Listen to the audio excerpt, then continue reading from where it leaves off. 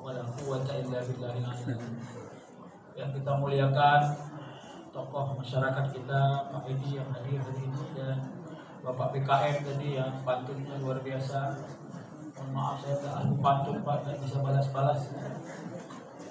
Bapak Ibu yang dirahmati Allah, semua yang dibilang tadi adalah hal-hal yang juga mau saya sampaikan. Ini penting Ramadan ini. Kekuatannya adalah niat. Kalau mau membuat Ramadan ini asik atau tidak asik itu tergantung kita saja. Makanya Rasul itu eh, menceritakan niat di dalam kitab Arba'in itu ya, hadis pertama. Eh, innamal a'malu binniyat wa innamal likulli imri'in ma nawa.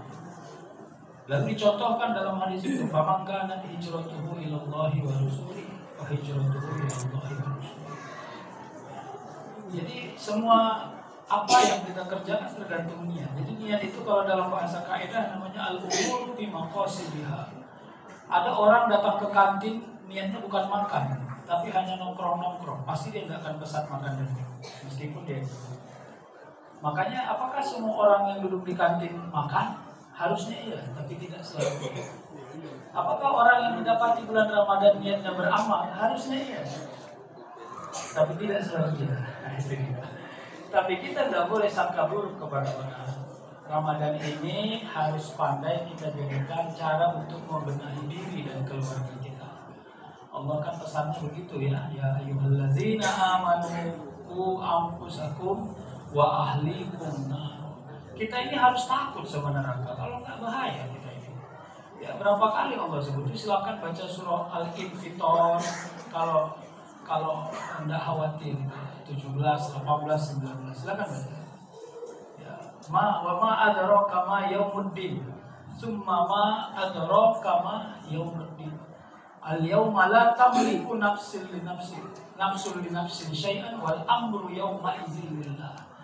Allah sampai nanya dua kali untuk sekedar mengulang-ulangi karena manusia kurang percaya. Tahukah kau apa itu Yaumuddin? Yaumuddin itu apa? Hari pembalasan. Gak ada hari ini tuh nantilah. Lalu diulangi lagi, sekali lagi. Tahukah kau apa itu hari pembalasan? Ini ayat ini bukan saja. Kenapa diulang-ulang supaya cantik? Benda. Itu kan sama kayak apa namanya ya? eh, fitnahnya orang Arab Makkah ketika Nabi Muhammad menerima ayat. Kau itu syair Muhammad itu. Kenapa? Karena orang-orang pintar bersyair, makanya disebutlah Muhammad itu ummi. Maka ada selawatnya Allahumma sholli ala Sayyidina Muhammadin Nabiyyi. Keummian Muhammad bukan karena dia tidak pintar, tapi dia tidak melewati pelajaran bersyair.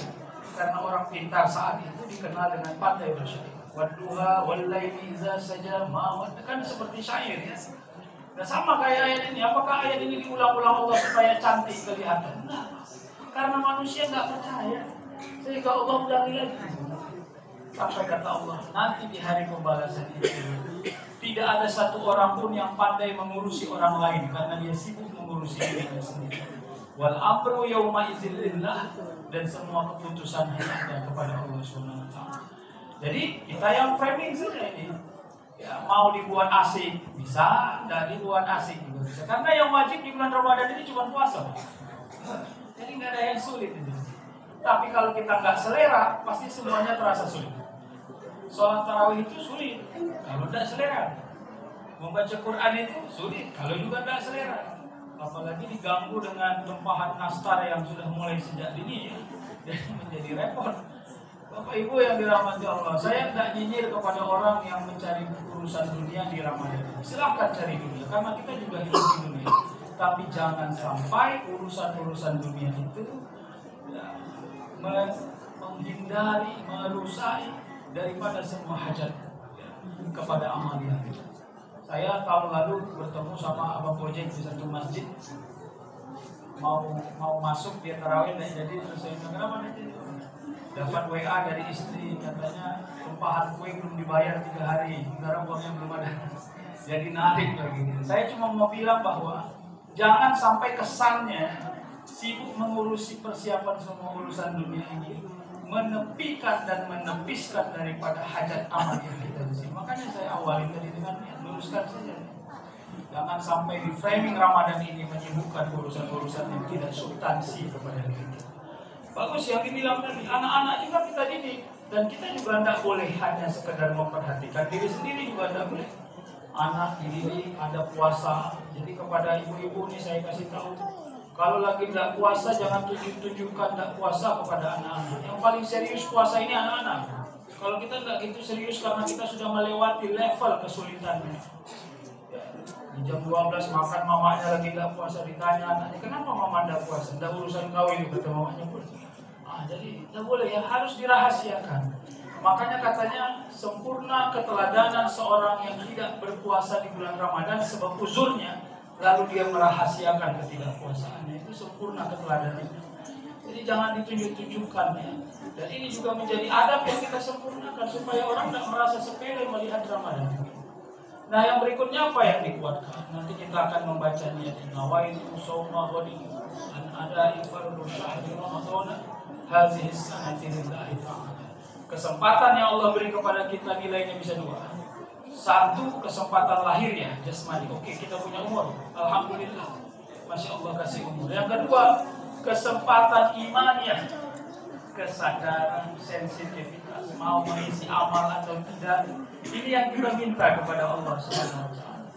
Bulan Ramadan itu tidur enak. Oke, tes lah Tapi ingat ya, hadis tentang tidurnya orang berpuasa itu ibadah itu hadisnya maudhu. Ya, hadis naik dan palsu. Tapi orang yang tidur sebab letih beramal dan bekerja, lalu dia sebab letihnya dia tertidur itu menjadi amal.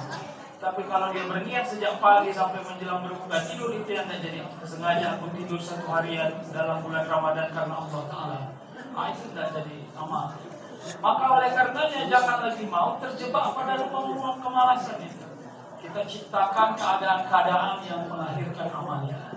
Dan yang terakhir, saya mau ajak kita semua karena ini namanya kultum ya atau kuliah 10 menit.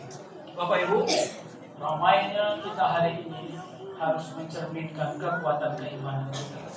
Tapi saya termasuk orang yang selalu menyampaikan kepada para ustaz.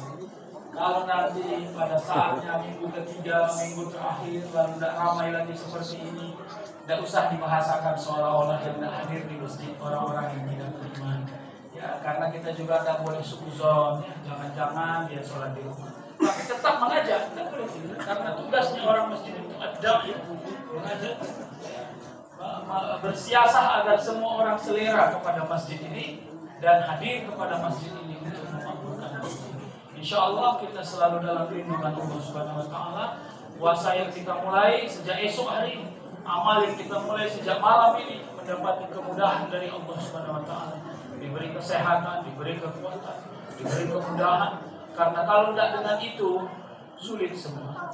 Kita menganggap semuanya mudah, tapi kalau Allah tidak izinkan menjadi sulit semua. Saya kira ini menjadi kekuatan yang terakhir kepada kita semua. Saya mohon izin terutama kepada Pak Edi. Tadi sore nenek saya meninggal baru dibawa dari kisaran menuju ke eh, apa namanya tembung dan tidak ada orang di sana saya harus menyiapkan rumah untuk menerima itu dan istri saya. Jadi saya mohon izin mungkin tarawihnya belakangan. Mudah-mudahan tidak mendapati apa namanya sakwa sangka itu. Ya ada orang yang gembira, ada orang yang bersedih. Bila Bapak Ibu sedang gembira, mudahkan urusan orang dan doakan orang-orang yang sedang mendapati berita musibah hari ini dan Pak Tabiru yang ulil albab semoga kita selalu dalam lindungan Allah. Wassalamualaikum warahmatullahi wabarakatuh.